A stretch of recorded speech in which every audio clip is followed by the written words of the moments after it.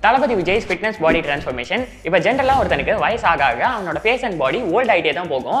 But nineteen ninety டூலேருந்து twenty twenty two வரைக்கும் தளபதியோட லுக்லையும் சரி அவரோட ஃபிட்னஸ்லையும் சரி ஒரு ஒரு வருஷமும் அதுக்கு முன்னாடி இருந்த வருஷத்தோட ஒரு பெட்டர் வெர்ஷன் ஆஃப் தளபதி தான் நம்ம எல்லாரும் பார்த்துட்டு இருக்கோம் இப்போ இந்த வீடியோவில் எப்படி இந்த செலிபிரிட்டிஸ் அவங்களோட ஃபிட்னஸை மெயின்டைன் பண்ணுறாங்க எப்படி அவங்களோட ஃபேஸில் அந்த க்ளோ கொண்டு வராங்க அண்ட் அது மட்டும் இல்லாமல் இந்த வீடியோட எண்டில் எப்படி வயசாக ஆக நீங்களும் பார்க்க ஃபிட்டாக அந்த ஃபேஸில் க்ளோவோட இருக்கலாம் அப்படின்ற சயின்டிஃபிக் எக்ஸ்ப்ளனேஷனை சொல்ல போகிறேன் so sit back relax and enjoy first of all Vijay ஃபிட்னஸ்குள்ளே வரதுக்கு முன்னாடி அவரோட பாடி டைப் என்ன அப்படின்றத பார்க்கணும். மொத்தம் மூணு பாடி டைப் இருக்கு. இதில் அவரோட சைல்ட்ஹுட் ஃபோட்டோஸை எடுத்து பார்த்தாலே தெரியும். அவர் எக்டோமார்ஃப் அப்படின்ற கேட்டகரியில் வருவாருன்னு. எக்டோமார்ஃப்னா அவங்களோட போன் ஸ்ட்ரக்சர் குட்டியாக இருந்து அவங்க ஓவராலாக பார்க்கறதுக்கு அவங்களோட ஆர்ம்ஸ் செஸ்ட் பேக் இதெல்லாம் ஒல்லியாக இருக்கிறவங்கள தான் எக்டோமார்ஃப் அப்படின்னு கன்சிடர் பண்ணுவாங்க. இந்த மாதிரி பாடி டைப் இருக்கனால என்ன அட்வான்டேஜ்னா நம்ம அவ்வளோ சீக்கிரமாக ஃபேட் ஆகிட மாட்டோம். அதே மாதிரி டிஸ்அட்வான்டேஜ் என்னன்னா நம்மளால அவ்வளோ சீக்கிரமாக வெயிட் போட முடியாது. ஸோ நம்ம எப்பயுமே பார்க்கறதுக்கு பெருசாக தெரிய மாட்டோம். ஸோ இதுதான் அவரோட ஸ்டார்டிங் பாயிண்ட் அப்படியே ஒரு முப்பது வருஷத்துக்கு பின்னாடி போனால் அவரோட ஃபர்ஸ்ட் படம் நாளைய தீர்ப்புன்னு நினைக்கிறேன். அதில் ஃபர்ஸ்ட் ஷார்ட்டே அவரோட ஒர்க் அவுட் மாண்டேஜ் தான் காமிச்சிருப்பாங்க. அதில் ஒரு skipping shoulder press and biceps curls மாதிரியான ஒர்க் அவுட்லாம் போட்டுட்டு இருப்பாரு. இந்த படத்தில் அவரோட ஃபேஸே ஆக்சுவலாக இப்போ இருக்கிற அளவுக்கு குரூம்டாலாம் இருக்காது. இன்ஃபேக்ட் இதை பற்றி ஆனந்த விகடன் பத்திரிகையிலே ஆக்சுவலி எழுதியிருக்காங்கன்னு நினைக்கிறேன். இந்த மூஞ்சிலாம் நடிக்க வரணுமான்னு. இதை வந்து இன்னும் நிறைய மீடியா பீப்பிள் அண்ட் அவரோட ஃப்ரெண்ட்ஸே நிறைய இன்டர்வியூவில் சொல்லியிருக்காங்க. இப்போ இந்த இன்ட்ரோவில் பார்க்கறதுக்கு என்னதான் ஒரு ஒல்லியாக இருந்தாலும் ஒரு ப்ளஸ் பாயிண்ட் என்னன்னா அவரோட ஓவரால் ஷோல்டர்ஸ் பார்க்கறதுக்கு ரொம்ப ப்ராடாகவே இருந்திருக்கு. இதுக்கு ரீசன் என்னன்னா அவரோட கிளாவிக்கல்ஸ் ஆர் ஷோல்டர் போன் அப்படின்றது ஜெனட்டிக்காவே ஒய்டா இருக்கு. எனக்கு அப்படியே ஆப்போசிட் என்னோட சின்ன வயசுலேருந்தே என்னோட ஷோல்டர் போன்ஸ் ஆர் கிளாவிக்கல்ஸ் பார்க்கறதுக்கு ரொம்ப குட்டியா சுருங்கி போய் தான் இருக்கும். அதுக்கு ரீசன் என்னோட கிளாவிக்கல் போன் ரொம்பவே குட்டியா இருக்கும். இப்போ அவரோட பாடி டைப் ஒல்லியா தான் இருக்கு. அண்ட் பாடி ஃபேட் பர்சன்டேஜ்னு பார்த்தா ஒரு nineteen to twenty percent body ஃபேட்ல அந்த ஃபர்ஸ்ட் படத்துல அவர் இருந்திருப்பாரு. அண்ட் அதுக்கப்புறம் அவரோட பாடி எங்க மேஜரா சேஞ்ச் ஆச்சு அப்படின்னு பார்த்தா டூ தௌசண்ட்ல பத்ரி படத்துல தான். அதுக்கு முன்னாடி மூவிஸ்ல கூட சேஞ்ச் ஆயிருக்கலாம். பட் ஃபர்ஸ்ட் டைம் ஃபுல் பாடியை ரிவீல் பண்ணது இந்த பத்ரி படத்துல தான். அந்த பாட்டு இப்போ லைட்டாக பார்க்கறதுக்கு கொஞ்சம் கிரிஞ்சாக தான் இருக்குது பட் அந்த டைம்ஸில் அது ஒரு பெரிய மோட்டிவேஷனல் சாங்குன்னு நினைக்கிறேன். நான் பிறந்ததே அந்த வருஷம் தான். அதனால எனக்கு பெருசாக தெரியல. இப்போ நான் இத்தனை வருஷமா என்னோட ஒன் டுவெண்ட்டி டேஸ் ட்ரான்ஸ்ஃபர்மேஷன் ப்ரோக்ராமில் ஒரு தௌசண்ட்ஸ் ஆஃப் பீப்பிளோட ஒர்க் பண்ணதில் எனக்கு ஒருத்தரோட ஃபேஸை பார்த்தாலே அவங்க என்ன பாடி ஃபேட் பர்சன்டேஜில் இருக்காங்க அப்படின்னு அப்ராக்ஸாக கண்டுபிடிக்க முடியும். அந்த மாதிரி இந்த நாலு தளபதி விஜய் ஃபோட்டோஸை பார்த்தாலே அவர் என்ன டிஃப்ரெண்ட் பாடி ஃபேட்டில் இருக்காரு அப்படின்றது நமக்கு தெரிஞ்சிடும் இப்போ எந்த ஃபோட்டோஸ்லாம் ஃபேஸ் ஓரளவுக்கு வீங்கிருக்கோ அதில் ஸ்லைட்டாக ஹையர் பாடி ஃபேட் பர்சன்டேஜில் இருந்திருக்காரு. அண்ட் எங்கெல்லாம் ஃபேஸ் ஓரளவுக்கு சுருங்கி போயிருக்கோம் அங்கெல்லாம் லோவர் பாடி ஃபேட் பர்சன்டேஜில் இருந்திருக்காரு. இப்போ பத்ரி படத்துக்கு வெயிட் கெயின் பண்ணுறதுக்கு அவர் என்ன பண்ணியிருக்காருன்னா ஆப்வியஸ்லி சாப்பாடு அதிகமாக சாப்பிட்டுருக்காரு கேலரி சர்ப்ளஸில் இருந்திருக்காரு அண்ட் வெயிட் ட்ரைனிங்கும் பண்ணியிருக்காரு அதுக்கப்புறம் டூ தௌசண்ட் ஃபோரில் அர்ஜுனர் வில்ல சீன்லையும் டூ தௌசண்ட் டென்ல வேலாயுதம்லையும் அவரோட பாடியை ரிவீல் பண்ணியிருப்பாங்க. பட் இன் மை ஒப்பீனியன் இந்த ரெண்டு பாடிக்கும் பெருசாக எந்த சேஞ்சஸும் இல்லை அப்படின்றது தான் ஃபேக்ட் பட் நான் அடுத்து எங்கே ஒரு மேஜர் சேஞ்சை நோட்டீஸ் பண்ணேன்னா டூ தௌசண்ட் டுவெல்னு நினைக்கிறேன். துப்பாக்கி படத்தில் தான் இன் மை ஒப்பீனியன் துப்பாக்கியில் தான் தளபதி விஜயோட ஃபிட்டஸ்ட் வெர்ஷனை நம்ம பார்த்துருப்போம். அதுக்கப்புறம் அவர் நடித்த எந்த படத்துலையுமே துப்பாக்கி அளவுக்கு ஒரு ஃபிட்னஸ் இல்லை அப்படின்றது தான் என்னோட கருத்து. துப்பாக்கியில் அவர் ஒரு மிலிட்ரி மேனாக நடிக்கிறதுக்கு முன்னாடி இருந்த பாடி ஃபேட் பர்சன்டேஜை விட குறைச்சிருப்பாரு. வேலாயுதம்ல ஒரு twenty three to twenty four percent body ஃபேட்ல இருந்திருப்பார்னா துப்பாக்கியில் ஒரு sixteen to seventeen percent body ஃபேட்ல இருந்திருப்பாரு. இது அவரோட அந்த டி ஷர்ட் அண்ட் ஷர்ட்ல இருந்த ஷார்ட்ஸை பார்த்தாலே தெரியும். எஸ்பெஷலி டி ஷர்ட்ல அவரோட பைசப்ஸோட டெஃபினேஷன் ரொம்பவே நல்லா இருக்கும். இதை வச்சே நம்ம சொல்லிடலாம் அவரோட பாடி ஃபேட் பர்சன்டேஜ் அங்கே கம்மியாக இருக்குன்னு இந்த பாடி ஃபேட் பர்சன்டேஜை குறைக்கிறதுக்கு அவர் obviously diet workout and calorie deficit தான் பண்ணியிருப்பாரு இதை பற்றி உங்களுக்கு இன்னும் டீட்டெயிலாக தெரியணும். எப்படி பாடி ஃபேட் பர்சன்டேஜை குறைக்கிறதுன்னு தெரியணும்னா என்னோட சிக்ஸ் பேக் சீரிஸை ஃபுல்லாக பாருங்க. இந்த சிக்ஸ் பேக் சீரிஸில் நான் டுவெண்ட்டி ஃபைவ் பர்சன்ட் பாடி ஃபேட்லேருந்து டுவெல் பர்சன்ட் பாடி ஃபேட் வரைக்கும் ஒரு ஃபிஃப்டி டேஸில் வந்திருப்பேன். ஸோ அதை பார்த்தாலே உங்களுக்கு பாடி ஃபேட் பர்சன்டேஜ் குறைக்கிறதுக்கான ப்ராசஸ் என்ன அப்படின்றது தெரிஞ்சிடும் but coming back to the topic after Thuppakki Bairavaa petrol bunk scene and மாஸ்டரோட climax fight சீனில் தான் அவரோட பாடியை அடுத்து ரிவீல் பண்ணியிருப்பாங்க. பேசிக்கலி இந்த ரெண்டு சீனையும் நம்ம பார்த்தாலே அவரோட டெவலப்டு ஜெனடிக்ஸ் என்ன அப்படின்றத நம்ம தெரிஞ்சுக்கலாம். இப்போ நீங்கள் வெயிட் ட்ரைனிங் அண்ட் ஒர்க் அவுட்லாம் புதுசாக இருந்தால் உங்களோட பேஸ் லைன் ஜெனட்டிக்ஸ் என்ன அப்படின்றத உங்களோட பாடியை பார்த்து கண்டுபிடிச்சிடலாம். பட் இப்போ ஒரு five to six years workout பண்ணதுக்கப்புறம் உங்களோட பாடியை பார்த்தா உங்களோட டெவலப்டு ஜெனட்டிக்ஸ் என்ன அப்படின்றது தெரிஞ்சிடும் ஃபார் எக்ஸாம்பிள் இப்போ நான் ஒரு நாலு வருஷம் ஒர்க் அவுட் பண்ணதுக்கப்புறம் தான் தெரிஞ்சது என்னோட ஷோல்டர்ஸ்ல என்னோட ட்ராப்ஸ் வீக்காக இருக்குது என்னோட இன்னர் செஸ்ட் லைன் வீக்காக இருக்குன்னு. பட் தளபதி விஜயை ஒரு பாடி பில்டிங் பெர்ஸ்பெக்டிவ்லேருந்து அனலைஸ் பண்ணால் அவரோட ஸ்ட்ராங் பாயிண்ட்ஸ்னு பார்த்தா அவரோட ஒயிட் ஷோல்டர்ஸ் அவரோட ஒயிட் பேக் அண்ட் அவரோட ஆர்ம்ஸ் அண்ட் இதே வீக் பாயிண்ட்னு பார்த்தா அவரோட செஸ்ட் அண்ட் ஆப்ஸ் பிகாஸ் அதில் சுத்தமாக டெஃபினேஷனே இல்லை.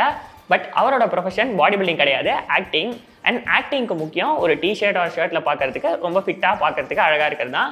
அண்ட் அதை அவர் பயங்கரமாகவே பண்ணிட்டு இருக்காரு and before we going to the next point இப்போ தளபதி விஜய் மாதிரி ஒரு யூத்தான லுக்கை மெயின்டைன் பண்ணணும்னா உங்களோட ஃபிசிக்கல் ஃபிட்னஸ் எந்த அளவுக்கு முக்கியமோ அதே அளவுக்கு உங்களோட ஹேர் ஹெல்த் அண்ட் உங்களோட ஸ்கின் ஹெல்த்தும் முக்கியம். எனக்கு ஃபைவ் மந்த்ஸ் முன்னாடி ஹெச்கே வைட்டல்ஸோட பயோட்டின் சென்ட் பண்ணியிருந்தாங்க இதை யூஸ் பண்ணுறதுனால நம்ம பாடியில் கெரட்டின் ப்ரொடக்ஷன் இன்க்ரீஸ் ஆகும். அண்ட் அந்த கெரட்டின் ப்ரொடக்ஷன் இன்க்ரீஸ் ஆகிறதுனால நம்ம ஹேரோட வால்யூம் ஸ்ட்ரென்த் அண்ட் ஷைனிங் ஃபேக்டரும் இன்க்ரீஸ் ஆகும். இதில் நம்ம ஹேரோட ஹெல்த்தை இன்க்ரீஸ் பண்ணுறதுக்கு டென் தௌசண்ட் எம்சிஜி பயோட்டினை யூஸ் பண்ணியிருக்காங்க அண்ட் அதை யூஸ் பண்ணுறதுனால நம்ம ஹேரோட ஃபால் அண்ட் பிரேக்கேஜை இது ப்ரிவென்ட் பண்ணும். இதை ஒரு ஃபைவ் மந்த்ஸ் முன்னாடியே எனக்கு சென்ட் பண்ணி நான் அதை யூஸ் பண்ணிட்டு இருக்கிறதுனால இதில் இருக்கிற முக்காவாசி பெனிஃபிட்ஸ் எனக்கும் வந்திருக்கு. அண்ட் அது மட்டும் இல்லாமல் ஹெல்த் கார்ட் ஆத்தென்டிக் அண்ட் ஜென்யூனா டென் இயர்ஸ்க்கு மேலே இந்த சப்ளிமெண்ட்ஸை ப்ரொடியூஸ் பண்ணிட்டு இருக்காங்க.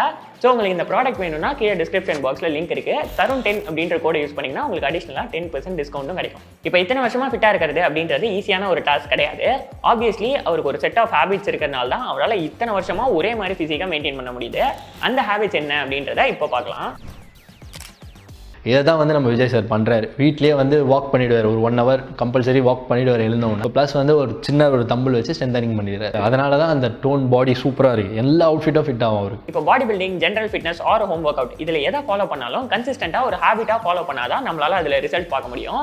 அந்த மாதிரி தளபதி விஜய் ஃபாலோ பண்ணுற ஃபர்ஸ்ட் ஹேபிட் என்னன்னா அவர் எவ்ரிடே தூங்கி எந்திரிச்சதுக்கப்புறம் ஒன் ஹவர் கம்பல்சரியாக வாக்கிங் பண்ணிடுவார். இந்த ஹேபிட்ஸ் ஒரு ஒருத்தருக்கும் ஒரு ஒரு மாதிரி இருக்கும். இப்போ விஜய் அண்ணாக்கு என்ன ஒர்க் அவுட் ஆகுதுன்னா தூங்கி எந்திரிச்சதுக்கப்புறம் ஒன் ஹவர் வாக்கிங் போகிறது இந்த மாதிரி உங்களுக்கு வேற ஏதாவது ஒன்று ஒர்க் அவுட் ஆகலாம். அந்த ஹேபிட்ஸ் என்ன அப்படின்றத கண்டுபிடிச்சி அதை கன்சிஸ்டண்ட்டாக ஃபாலோ பண்ணும்போது உங்களுக்கும் வயசானாலும் அந்த ஃபிட்னஸை மெயின்டைன் பண்ண முடியும். எங்களுக்கு அந்த ட்ரிங்க் பண்ணுற சீன்லாம் இருக்கும். என் வாய் சும்மாவே இருக்காது. அவ்வளோ மிச்சம் இருக்கும். எல்லாம் நானே சாப்பிட்டுன்னு இருக்கேன் என்ன ஒரு பீஸ் கூட எடுக்க மாட்டேன்றீங்க? அப்படின்னு. தெரில நான் பிடிக்காதுண்ணா. அது ஒரு கண்ட்ரோல் அவர் நான் எனக்கு தெரிஞ்சு ரொம்ப வருஷமா இப்படிதான் இருக்காரு habit number two junk food சாப்பிடக்கூடாது. ஏன்னா ஆயில் அதிகம் கேலரிஸ் அதிகம் வெயிட் போடும். அப்பப்போ சாப்பிடலாம். பேசிக்கலி இதுக்கு பெருசாக எக்ஸ்ப்ளனேஷன் தேவையில்ல. பிகாஸ் ஜங்க் ஃபுட் சாப்பிட்டா என்ன ஆகும் என்ன நடக்கும் அப்படின்றது நிறைய பேர் உங்களுக்கே தெரிஞ்சிருக்கும். பட் ஸ்டில் இதுதான் அவர் ஃபாலோ பண்ணுற ஹேபிட் நம்பர் டூ அவருக்கு என்ன எனக்கு ரொம்ப பிடிச்ச ஒரு விஷயம் என்னன்னா ஷூட்டிங் வந்து ஆறு மணிக்கு முடிஞ்சதுன்னா ஆறே கால் ஆறரை மணிக்குள்ள டின்னரை சாப்பிட்டுருவாரு. சிக்ஸ் தேர்ட்டிக்கேவா சிக்ஸ் தேர்ட்டிக்கு டின்னரை சாப்பிட்டு நேரா ஹோட்டலுக்கு போயிட்டு மேக்கப் எல்லாம் எடுத்து ஃப்ரெஷ்ன் அப் ஆயிட்டு ஒரு மணி நேரம் மினிமம் எங்க இருந்தாலும் கார்டியோ ரன் பண்ணிடுவாரு. மூணாவது habit eating dinner at six thirty basically இது எல்லாரும் ஃபாலோ பண்ணணும் அப்படின்னு கிடையாது. இது ஒரு பர்ஃபெக்டான மெத்தடும் கிடையாது. அது அவருக்கு ஒர்க் அவுட் ஆகுது அதனால அவர் ஃபாலோ பண்ணுறாரு பட் ஐடியலி தூங்குறதுக்கு ஒரு ஒன் டு டூ ஹவர்ஸ் முன்னாடி சாப்பிட்டாலே உங்களுக்கு வந்து கம்ப்ளீட்டாக டைஜஸ்ட் ஆகிடும் ஸோ இதுக்கு வந்து நீங்கள் எக்ஸாக்டாக ஃபாலோ பண்ணணும்னு அவசியம் இல்லை but still you can give it a short இப்போ இது வரைக்கும் நான் சொன்னதெல்லாம் அவர் ஃபாலோ பண்ணுறது பட் அது இல்லாமல் உங்களுக்கும் அதே மாதிரி அந்த ஏஜ் ஃபேக்டர் தெரியாமல் ஸ்லிம்மாக ஃபிட்டாக பார்க்கறதுக்கு பல பலன்னு இருக்கணும்னா நீங்கள் ஃபாலோ பண்ண வேண்டிய tip number one antioxidants அதிகமான லெவலில் சாப்பிடணும் அப்படின்றது தான் நம்மளோட ஸ்கின் குவாலிட்டியை இம்ப்ரூவ் பண்ணுறதுக்கான டிப் நம்பர் ஒன் பிகாஸ் நிறைய ரிசர்ச்சஸில் ஃப்ரூட்ஸ் அண்ட் வெஜிடபிள்ஸ் சாப்பிட்றதுனால நம்மளோட ஸ்கின் குவாலிட்டி டேரெக்டாக இம்பாக்ட் பண்ணும் அப்படின்ற மாதிரி ப்ரூவ் ஆயிருக்கு. இப்போ ஸ்கின் குவாலிட்டி இன்க்ரீஸ் பண்ணுறதுக்கு ஃப்ரூட்ஸ் அண்ட் வெஜிடபிள்ஸ் சாப்பிடுங்கன்னு மொட்டையாக நிறைய பேர் சொல்லி கேள்விப்பட்டிருப்பீங்க. பட் ஆக்சுவலாக ஆன்டி ஆக்சிடென்ட்ஸ் எந்த ஃப்ரூட்ஸ் அண்ட் வெஜிடபிள்ஸில் இருக்கிறதே அதிகமாக ப்ரெசென்ட் ஆயிருக்கும். அந்த ஃப்ரூட்ஸ் அண்ட் வெஜிடபிள்ஸை நீங்கள் தேடி சாப்பிடணும். இப்போ நான் இந்த ஸ்க்ரீனில் antioxidant rich fruits and vegetables என்ன அப்படின்ற ஒரு லிஸ்ட்டை நான் ஆட் பண்ணுறேன் இப்போ ஆன்டி ஆக்சிடென்ட்ஸ் அதிகமாக இருக்கிற ஃபுட்ஸை சாப்பிட்றதுனால என்ன அட்வான்டேஜ்னா அந்த ஆன்டி ஆக்சிடென்ட்ஸ் நம்ம ஸ்கின்ல இருக்கிற டேமேஜஸை அதுவாக ரிப்பேர் பண்ணிடும். அண்ட் அது மட்டும் இல்லாமல் நம்ம ஸ்கின்ல என்ன விசிபிள் டேமேஜ் இருந்தாலும் இந்த ஆன்டி ஆக்சிடென்ட்ஸ் அதை கிளியர் பண்ணிடும். Basically antioxidants and vitamin C இது ரெண்டும் எந்த ஃபுட்ஸ்லாம் அதிகமாக ப்ரெசென்ட் ஆயிருக்கும் அந்த ஃபுட்ஸ் எல்லாம் நம்ம சாப்பிடணும். நான் இப்போ கொடுத்துருக்கிற லிஸ்ட்ல எந்த ஃபுட்ஸ்லாம் antioxidants and vitamin C அதிகமாக இருக்கும் அப்படின்ற ஃபுல் லிஸ்ட் இருக்கு. இதை ஸ்கிரீன்ஷாட் எடுத்து இந்த ஃபுட்ஸ் எல்லாம் உங்க டெய்லி லைஃப்ல நீங்க சாப்பிடும்போது உங்களோட ஸ்கின் குவாலிட்டி டேரக்டா இம்ப்ரூவ் ஆகிறத கண்கூடி பார்க்கலாம். எனக்கு தெரியும் சன்ஸ்கிரீன் அப்படின்றது ஒரு அநாயகமான விஷயம் தான் நமக்கு இருக்கிற ஆயிரத்தெட்டு வேலையில இதை வேற எடுத்து நம்ம தடவணுமா அப்படின்ற கேள்வி எனக்கு புரியுது. பட் இந்த எஸ்பிஎஃப் தேர்ட்டிக்கு மேலே இருக்கிற சன்ஸ்கிரீன் லோஷனை நம்ம யூஸ் பண்றதுனால என்ன நடக்கும்னா இந்த சன்லேருந்து வர அல்ட்ரா வயலட் ரேடியேஷன்ஸை அந்த சன்ஸ்கிரீன் லோஷன் ப்ரிவென்ட் பண்ணும். இதனால உங்க ஸ்கின் பேர்ன் ஆகாம உங்களுக்கு டேன் எதுவும் வராம அந்த க்ளோவை அப்படியே மெயின்டைன் பண்ண முடியும். தளபதி விஜய் மாதிரி. இப்போ ஸ்லீப் எதனால முக்கியம்னா நான் ஆல்ரெடி என்னோட நிறைய வீடியோஸில் சொல்லியிருக்கேன். உங்களுக்கு டார்க் சர்க்கிள்ஸ் வராது உங்களோட ஸ்கின் நீட்டாக மெயின்டைன் ஆகும். அண்ட் அது மட்டும் இல்லாமல் இன்னொரு நூற்றி எட்டு மேலே பெனிஃபிட்ஸ் இந்த ஸ்லீப் ஒழுங்காக இருக்கிறதுனால உங்களுக்கு கிடைக்கும். ஆனால் நாங்கள் ஒரு மூணு மணிக்கு இப்போ ஷூட் பண்ணிட்டு இருக்கோம். பட் இதே மாதிரி தண்ணி அதிகமாக குடிக்கிறதுனால உங்களோட ஸ்கின் ஹைட்ரேட்டடாக மெயின்டைன் ஆகி நம்ம ஸ்கின்னோட எலாஸ்டிசிட்டியை மெயின்டைன் பண்ணுறதுக்கு ரொம்பவே யூஸ் ஆகும். இந்த எலாஸ்டிசிட்டி மெயின்டைன் ஆகிறதுனால நம்ம ஸ்கின்ல இந்த ரிங்கிள்ஸ் ஏஜிங் அண்ட் லைன்ஸ் எதுவும் வராது. ஐடியலி ஒரு நாளைக்கு த்ரீ டு ஃபோர் லிட்டர்ஸ்க்கு மேலே குடிக்கிறது பெட்டர் அண்ட் இப்போ நான் சொன்ன டிப்ஸ் எல்லாத்தையும் personally followed and verified by me because ஒரு கொஞ்ச நாளைக்கு முன்னாடி என்னோட ஸ்கின் குவாலிட்டி அண்ட் என்னோட ஃபேஸை பார்க்கறதுக்கே ஒரு அக்மார்க் டோமர் மாதிரி தான் இருக்கும். நான் அதோட வீடியோஸை கூட இங்கே ஆட் பண்ணுறேன் அதில் பார்த்தாலே தெரியும் எவ்வளோ மோசமாக என்னோட ஸ்கின் அண்ட் ஃபேஸ் இருந்ததுன்னு. பட் இந்த சில டிப்ஸ் எல்லாம் ஃபாலோ பண்ணதுனால எனக்கு ரொம்பவே நல்ல இம்ப்ரூவ்மெண்ட் தெரியுது ஆஸ் யூ கேன் சி அது மட்டும் இல்லாமல் இந்த மாதிரி சயின்டிஃபிக் வீடியோஸை எங்களுக்கு ரிசர்ச் பண்ணி போடுறதுக்கு அதுக்கப்புறம் அதை எடிட் பண்ணுறதுக்கு ஷூட் பண்ணுறதுக்கு எல்லாம் சேர்த்து ஒரு ஒரு வாரத்துக்கு மேலே ஆகுது ஸோ எங்களோட எஃபர்ட்டை பாராட்டி முடிஞ்சால் ஒரு நைன்டீன் தௌசண்ட் லைக்ஸ் கிட்ட கொண்டு வாங்க. ஸோ தட் இந்த வீடியோ இன்னும் நிறைய பேருக்கு போய் ரீச் ஆகும். அண்ட் அது மட்டும் இல்லாமல் உங்களுக்கு தெரிஞ்ச ஸ்கின் கேர் டிப்ஸை கமெண்ட்ஸில் சொல்லுங்கள் அண்ட் அதோட சேர்த்து தளபதி விஜய் மாதிரி நான் டுவெண்ட்டி ஃபோர் ஹவர்ஸ் ஒரு நாளைக்கு ஃபாலோ பண்ணேன் அந்த வீடியோ பார்க்கணுன்னா இங்கே கிளிக் பண்ணுங்கள் சியர்ஸ்